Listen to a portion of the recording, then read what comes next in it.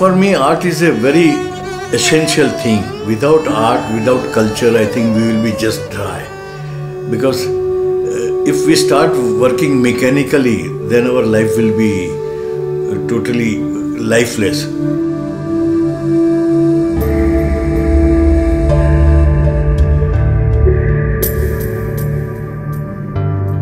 Uh, I went to Banaras first time in 1980. Until today, I must have went there for 100 times. I realized after many visits, there are two kinds of light. One is God-made, one is man-made. And I realized that I should create a landscape with a God-made light and a man-made light. God-made light is a sky, different kind of a weather, different kind of colors, and reflection on water. For me, that is a God-made light. Man-made light is a fantastic color scheme and everything in temples. The whole decoration of a temples, which is a man-made but create a kind of a, a, a spiritual experience.